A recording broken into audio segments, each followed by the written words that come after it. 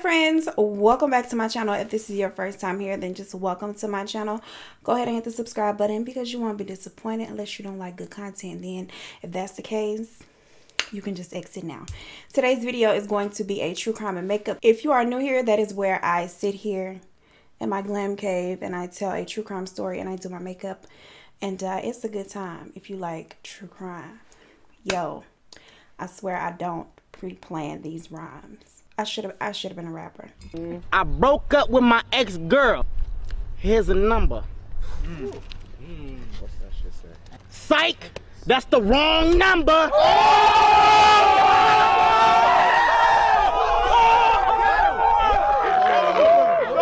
Today's video is going to be about Paul Bernardo and his wife Karla Homolka, aka the Ken and Barbie Killers, and it will not be a Brittney Vaughn video if I just did not mispronounce something, okay? One day, y'all are gonna see a video from me in which I do not struggle to pronounce one single word. Paul Bernardo was born August 27th in 1964 in Scarborough, Scar Scarborough, Canada.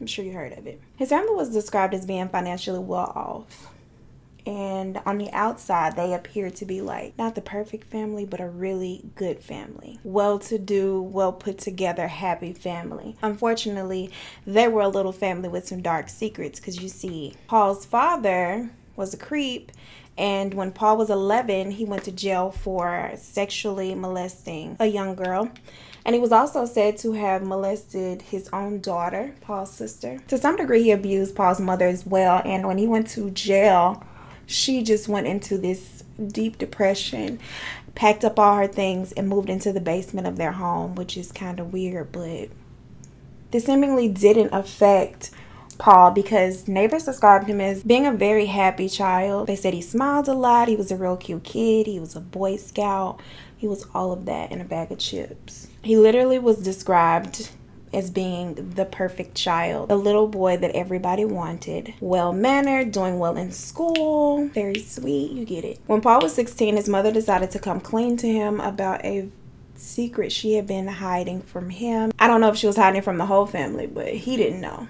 She let him know that he was conceived illegitimately from an extramarital affair and that his dad, his little molesty father, was not his actual father. This is the thing if my father went to jail for being, you know, a pervert, being nasty, feeling on little girls, including his own child, I would be somewhat relieved that he wasn't my real father. But this wasn't the case for Paul. He was very upset, and this completely changed the dynamic of his relationship with his mother. He was disgusted with her. He pretty much lost all respect for her. He from that point on, he would insult her all the time and he was just very nasty towards her. He resented her a lot. He felt like she was oh. Around this time, beneath his very charming facade, he developed very dark sexual fantasies. He started to beat the women that he dated. He would insult them and berate them in public and humiliate them whenever he got the chance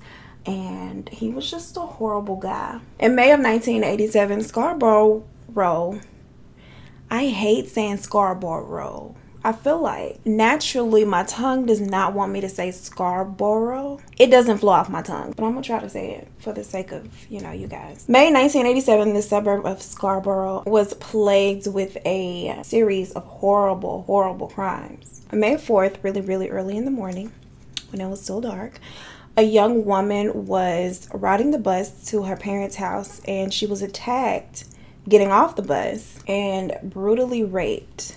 Now, this was just the first of three that happened within a week. All of the women were between the ages of 15 and 21, and the attacks included beatings, intense verbal abuse, threats to discourage the victims from going to the police or like telling anyone about the attacks, and of course, sexual assault. So, yeah, they still went to the police. That didn't really work. And the police concluded that these all had to be carried out by the same person who they dubbed the Scarborough Scarborough rapist who of course was our good friend Paul Bernardo. Karla Leanne Homolka was born May 4th, 1970, also in Canada. She seemed like a pretty normal child all the way up into teen years. She was pretty, she was popular, she was smart, she was everything you want your child to be. Except things took a turn for the worse, but we'll get to that. Oh, goodness. Sort of like my eyebrows. She loved animals. She worked at a vet's office. She really loved animals. And when she was 17, this love for animals led her to a pet convention where she meets Paul Bernardo, the uh, sick, creepy rapist we just discussed. I don't know what he was doing there though. He is at this time 23 years old. The two connected instantly, and their immediate attraction only intensified when Paul discovered that, unlike the other girls he had dated, Miss Karla shared his same sick fantasies. They quickly began a sadomasochistic relationship where Paul was an abusive master and Karla was his willing slave. I'm a slave for you. It's probably not the time for that. The entire time that they dated, Paul was still out raping the ladies of Scarborough with his girlfriend's approval and encouragement. Most of his victims were women that he caught getting off of bus stops, like late night, early morning. And one was a 15 year old girl he actually assaulted in her own bedroom. A couple of his victims were able to fight him off, and he was actually questioned by the police twice. Twice and let go. From May to September 1990, police had submitted more than 130 suspect samples of DNA testing when they received two leads that the person they were looking for was actually Mr. Paul. And uh, for whatever reason, they just were not trying to take Paul down as a suspect. I don't know if he just didn't look like a creepy, rapey weirdo or what, but they really weren't trying to take that serious. The first tip was given by a bank employee, and there wasn't really too much detail about why that person thought he was the rapist. The second tip came from the wife of one of Paul's friends. He had these three friends who were brothers, and one of their wives was Tina. Tina told detectives that Paul had been called in previously as a suspect for rape and that he openly discussed a lot of his like sick twisted fantasies about rough sex and sodomy and just and she was just very confident that Paul was their guy. He also looked a lot like the description and the composite sketch that they had from the victims. He was literally being handed to detectives on a silver platter. But apparently, because Tina had a speech impediment, how ridiculous is this? Tina had a speech impediment that left them uncertain whether to take her serious. Like, what? Finally, though, they decide to interview Paul, and the interview lasted only 35 minutes. It took place in November 1990. And um, he willingly gave a DNA sample to detectives. He was just like, oh, here's a little piece of my hair before I go run that. The detectives asked Paul why he thought that he was being investigated for the rapes. He was like, I mean, I do kind of look like the guy in reference to the composite sketches. It's like, sir. According to the detectives, they found him to be far more credible than Tina, whom they suspected was just trying to get the reward. And they let Paul go. So Paul and Karla become engaged, and she, at this point in their life, she describes to friends that they're just as happy as they've ever been, that they're happier than ever, that Paul is just so romantic, he's so perfect, he's so sweet, just all of that. But the truth is, three years into their relationship, Paul started to get bored with Karla, and he specifically would complain that she was not a virgin when they met and that bothered him. He needed a virgin, and that her 15 year old sister Tammy had become the subject of his sick, twisted fantasies, and she pretty much had his full attention. And um, I'm sure you or I would be like, bitch, what? But we would have been like that a long time ago. And yet again, instead of Paula being outraged at her nasty little husband's sick, twisted fantasies and desires, she encouraged them. Even when it came down to her own sister, like, I just don't get it. What's wrong with you, girl? Karla, in an effort to get her husband close to Tammy, her 15 year old sister, began to hang out with her sister a lot around their parents' house and like take Tammy out to party. They would supply her with beer and just really, I guess, gain her trust. Paul like literally becomes obsessed with Tammy. Like literally obsessed. Karla was allowing him access to Tammy's bedroom when she would fall asleep. He would go in, watch her sleep, masturbate while she was sleeping, peer into her bedroom while she was changing at night. It was a whole mess. So it gets to the point that Karla tells Paul that she wants him to have her sister's virginity as a Christmas present. Like, girl, that's not yours to give away. That's not yours. How sick do you have to be? On December 23rd, 1990, the Homolkas, which is Karla's parents, they have a Christmas party, and of course, they don't know that their daughter Karla is a sick twisted bitch. So her and her man are invited and they love Paul by the way. Like they literally had no clue the type of person that he was. They didn't have a clue of what type of person that their daughter was. They love them both. Karla gets some horse tranquilizers from her job. Because remember she's a little veterinarian assistant. You no telling what she was in there doing to the animals. She spiked her sister's drink with the horse tranquilizers, and that night, while the rest of the family was asleep and sweet, innocent old 15 year old Tammy was drugged up on horse tranquilizers. Karla holds a cloth soaked in halothane over her sister's mouth and takes turns with her fiance raping her. And the whole time, they're videotaping, like, this upsets me. In the midst of this whole terrible, terrible act, Tammy begins to vomit, and because she's laying on her back, she starts to choke on the vomit. The couple panics and they try to clean up, hide the evidence, then call the ambulance but unfortunately, the young teen never regains consciousness and she is pronounced dead at the hospital. Now, although the chemical burn from the halothane on her face was noted, the drugs in her system were not detected, and her death was ruled an accident as the result of choking on vomit due to alcohol poisoning. Now, I love blue eyeshadow looks, but the fallout is always so hectic. We're gonna get through it though we gonna get through. Of course, because her death was ruled an accident, no investigation was done, and it was just that was just it. It was dubbed a terrible accident. You know how serial killers get down. Once they get away with something, this usually just sends them out. Like they get so much confidence, and then it's just a spree. Karla befriends a 15 year old girl that works with her. And because the girl was only 15, her identity was protected. So we don't know her real name. We'll call her Stacy because that's a cute little nice name for a nice, sweet, innocent 15 year old. In the summer of 1991, June 7 to be exact, the following year after they killed Tammy, Karla's sick ass invites Stacy out for a girls' night out. They go out shopping, they go out to eat, and then they go back to Tammy's house, which little does Stacy know it's Tammy and Paul's house together. Paul is hiding somewhere under a kitchen sink somewhere. I don't know.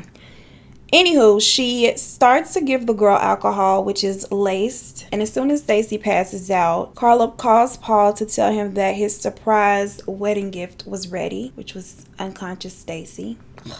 I hate people. They undress Stacy, and Paul begins videotaping as Karla begins to assault her sexually. And then he proceeds to take his turn assaulting her sexually sodomizing her, just just being nasty. The next morning, Stacy wakes up, Paul is nowhere to be found, and she's very sick, but she thinks that it's just because she had a hangover because she had been drinking the night before, and she didn't even realize that she had been sexually assaulted. So they got away with that. So June 15, 1991, just literally a couple days after the incident with Stacy, Paul is out trolling and being just being the nasty man that he is, right? He runs into a 14 year old who is locked outside of her home because she stayed out past curfew. Her name was Leslie Mahaffey. Paul approaches her. She asks him for cigarettes and he lures her to his car. He's like, Sure, I got some cigarettes, girl. They right over here. He blindfolds the girl, forces her into the car, and drives her to his home with Karla. And they, of course, do what they do. They take turns sexually assaulting the girl. They're filming the whole incident because that's just how they get down. Paul tells Leslie how she's doing such a great job because apparently she just she wasn't making too much noise.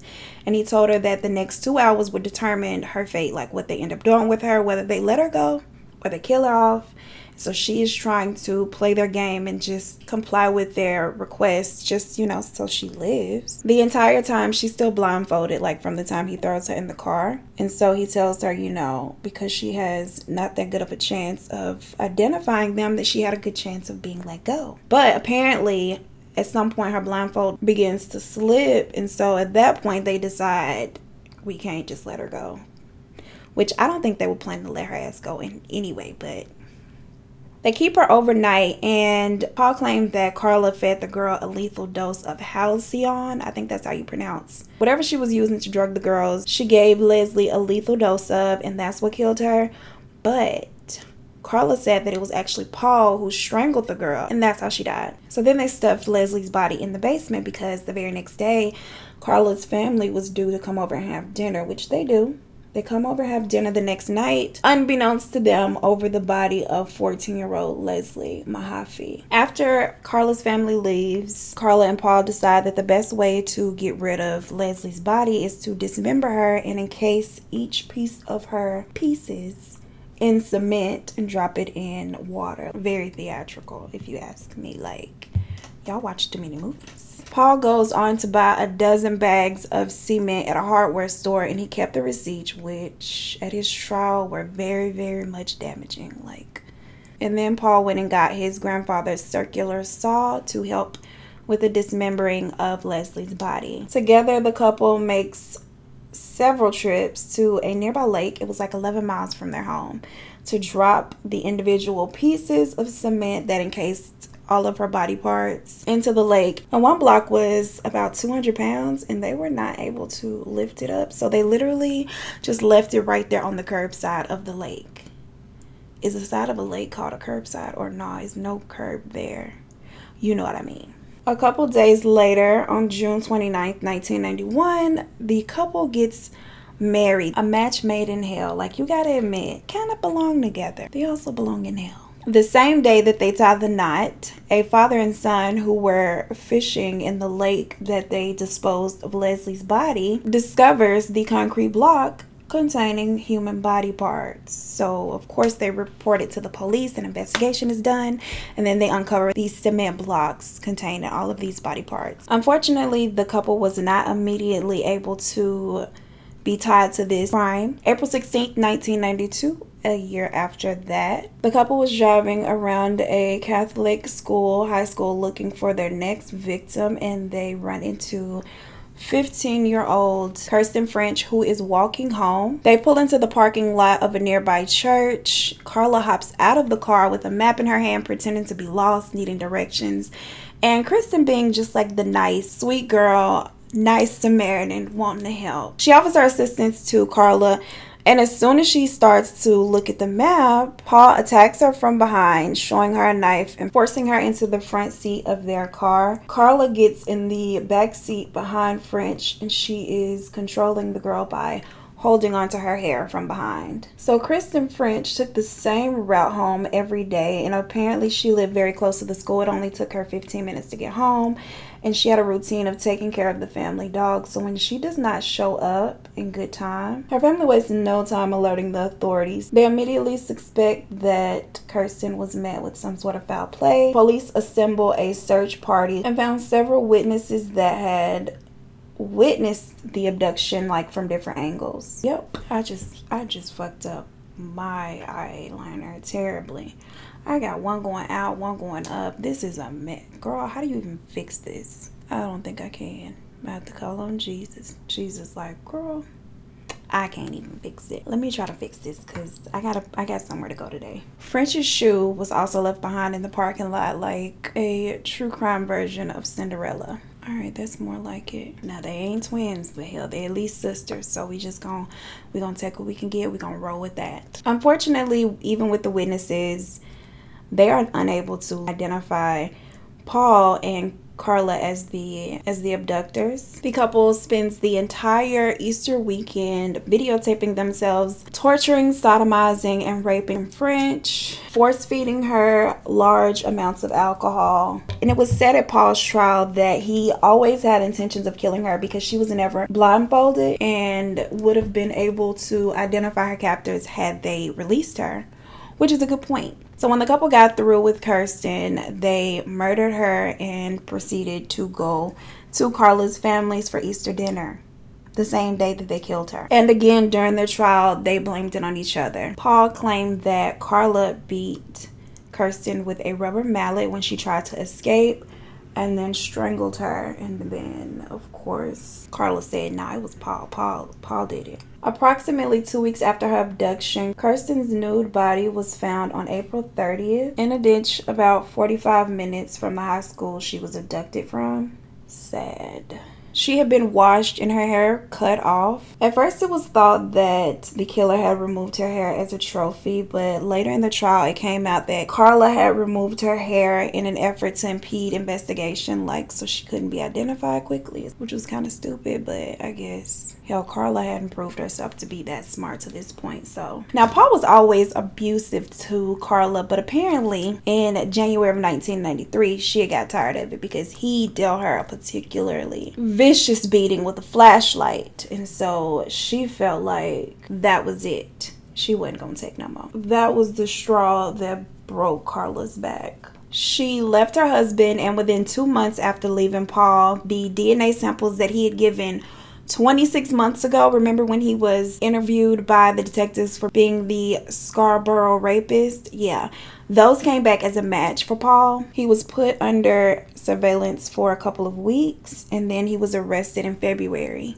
of 1993. Realizing that shit had hit the fan and the jig was up. Karla sought out a follow lawyer and she sought a plea bargain in exchange for her testifying against her husband Paul. She claimed that Paul had attacked over 30 women and that she herself was a victim of Paul. He abused her, he manipulated her, he threatened her, and she was just an unwilling participant. She was afraid for her life to leave. Paul was a monster. She was just scared. She couldn't leave him. The government agreed to a short little 12 year sentence for Karla in exchange for her cooperation, which dramatically backfired because Paul was like, hold up, no, no, no, no, no, you were not a victim. And then he released the tapes. And then it was like, girl, he had evidence on tape of her being more than a willing participant. The tapes exposed Karla's true nature as being the monster that she was instead of the abused victim that she tried to portray herself to be. They were like, girl, you was what now? Even still, Karla didn't do much time. She was released in 2005. She remarried. She had a family. She changed her name. She got herself a whole new life. She even had like some kids. I want to know who married this girl and if they know about her checkered past because Punk ass Paul was found guilty on all charges and sentenced to life in prison. His application for parole in 2018 after 25 years of imprisonment was denied. After only 30 minutes of deliberation, they weren't trying to have it. They like, girl, A lawyer on behalf of the victims' families reported that there's never been an apology from Paul, and there wasn't. There's never been any inclination whatsoever of remorse. Paul even admitted to the courts himself that he never felt anything for the victim at the time of his sadistic, horrific crimes. And that's part of the reason why his ass is still behind bars, which he should stay, and what Karla should be.